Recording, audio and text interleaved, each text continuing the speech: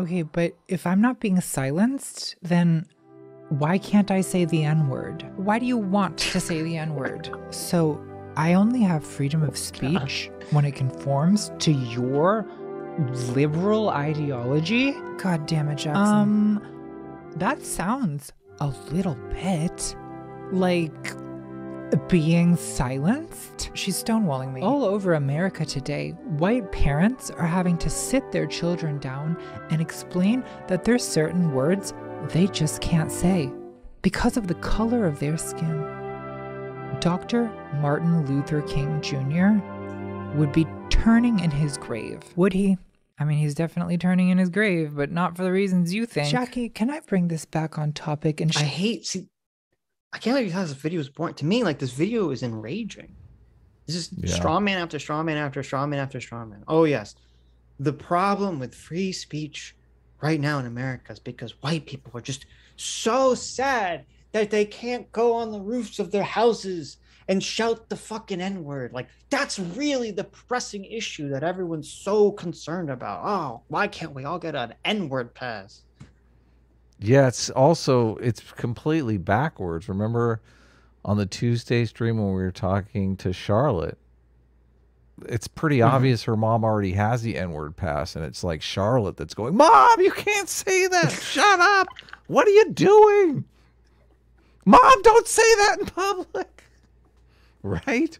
It's there not the go. parents sitting the kids down going, "You can't say this shit." It's the kids trying to shut the parents up. Right, right. She's like, "I don't have a YouTube account. I don't have a fucking Twitter account. I don't care." Yeah, it's completely inverted. Anyway, who cares? It's stupid share the good news of the gospel. That's not the topic. I have prayed on this, and honestly, the Holy Spirit has filled me with so much. Com- do you do you think Christians too, conservative Christians, want to go around using the N word? It's just it's no. so weird. No, no it's so weird. The the Christians are generally about, you know, civility between people. Like even even the ones that are against the gays that are against gay people they still are like nice about it, which makes it even a little more unnerving. But passion for young people struggling with same sex temptation. You know, when I look out at all these angry people at the Pride Parade, doing all this sexual acting out and wearing provocative clothing in a desperate bid for attention, I see the broken childhoods and I see the craving for acceptance and belonging, and I feel for them. I really do. Wow, you're such a good. Okay, I need to I need to address what you said, Adam, because mm-hmm. I think it's very wrong. Mm-hmm. so, you could say the same thing like 40 years ago, okay, when people were like really anti-gay. You know, you could be like, oh, all these fucking horrible Christians are out here telling the gays that they're going to burn in hell and doing all this stuff. And the gay people, they're just so nice. They're just, you know, they just want to be, you know, accepted by society. They want to live their own lives, you know, and not have bigotry towards them. The people, there's some truth here. And this is the problem with what Contra's kind of putting on forward. And this is why I wish this was like old Contra, where she was actually nuanced and intelligent, is that the side that generally uses civility is the side that that's losing power. right. Is the side that's losing, is the side that's not That's a power. great that is a great point. Yeah. Right. And so like the second one side gains the influence, all the civility goes out the window because then they realize, oh, I can just start strong arming people into, you know, following yeah. me. So when they had the power, they were like, "We're going to pass Prop 8 in California and just make gay marriage illegal." Yeah, exactly. Or Which, they were going to. Yeah, yeah, you're right. You're right. So they are. It's the civility really is is just because of the political dynamic at this point. Yeah. Well, see, and that's what's so dangerous. Th- that when like the when you hear the far leftists complain about civility politics, um, that's why that's such a dangerous idea to to complain about that because civility is the weapon of the side that's losing. The marginalized. Yeah. Yeah. The, well, the somewhat, mar- you know, the culturally marginalized, the politically marginalized, and you want that to be the weapon, okay? Because you because if you take away civility, then the oh yeah, violence. Yeah. Violence and terrorism. Yeah. So.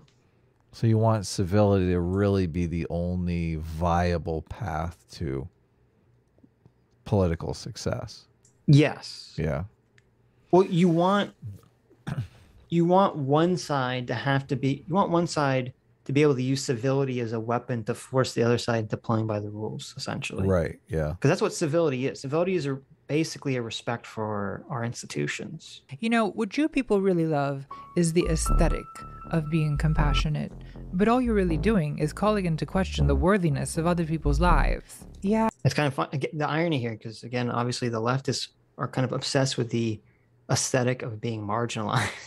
Of course. It's their whole identity. yes. Yeah. Uh, Virginia, why can't you just live and let live, you know?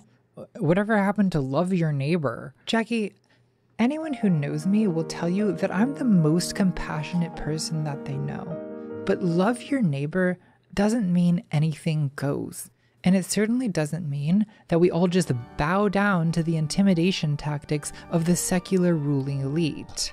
It doesn't mean that we can't ask questions about this narrative we're all being force fed that God and Scripture have no place in American life anymore, that we're all supposed to submit to the takeover of these Marxist plutocrats imposing their queer ideology, which says that if your child comes home from school and announces she's a different gender this week, then you have no choice but to surrender her to the surgeon's knife, slicing up tiny little children's bodies. That's where this is headed. Yeah, you're right. Only Christians care about their kids being wrongly yeah. diagnosed with gender dysphoria. Uh, like secular atheists, they right. don't care. Well, in this video is actually it's funny because all the people love this this video. They're all yes queen in this video. This video, if this was watched by right wing audiences, yeah, would do incredible damage, incredible damage to the left wing argument, because if Contra and people on the left want to make it and they want to posit the idea that the only people that have these concerns about uh, you know, kids uh, transitioning that don't need the transition, if they want to post that as that that's only the Christian conservatives that are making that argument, then guess what? You're going to make people more Christian conservatives, you idiot. Oh, like, that's this, true. It, it's a complete yeah. like this ploy, this straw man that Contra is creating will 100% backfire and blow up in her face and just make more of the people that she doesn't want to exist. Right. Yeah. It's I just I'm not going to be a Christian conservative though. You can I'm safe. I understand that, but like it's just I don't it's so weird to me. How is it that it's so fucking obvious? It's so fucking obvious how people react to this stuff. And we see people reacting to stuff constantly. Like all this, you know, the, the sort of resurgence of white nationalism literally happened because oh we're going to start using racial identity politics to shit on white people and surprise surprise you have a resurgence of white nationalism you know in response to that. And it's like it's the same going to be exactly the same thing with the trans stuff. And it's just how many times can stupid idiots walk into like step on the rake and smash themselves in the face again and again and again until they stop stepping on the fucking rake? I just this this is just weird to me because I just it doesn't touch reality as far as I can tell. Robert Putnam has a bunch of studies on how the anti-gay stuff in the in the evangelical movement back in the 80s just emptied the pews out, man. Young people were not wanting to hear it. Young people didn't like the you know, obviously, you know, as as homosexuality gained more and more acceptance, people came out of the closet and everybody knew someone who was gay. And they didn't want to show up in church and see people beating up on friends and family. So right. That just completely destroyed the evangelical movement. But this is this is why this just seems like so out of touch with reality. Like who is this this character now? I mean, it, it seems like the it seems like the church I just, unless you're talking about the Westboro Baptist Church, most churches are just not virulently anti-gay anymore. Well, they avoid the topic because they want to keep the, the mega churches full of people. This is part of the danger. Another part of the danger here is that that effect that you're talking about, where the churches were losing too many people, yeah, because of the anti-gay rhetoric. It's because, as you said, they would have a gay friend or family member and they would say, "Hey, this friend or family member is just a person like me." Right. Who has you know most of this he has all or most of the same values that I have. They're just gay. And so it seems really fucked up to me that I'm going to some church where they're telling me this person's going to burn in hell forever. Yeah. But that was the process. It was because you looked at this person and you said, this person is part of my in group. This person is the same as me.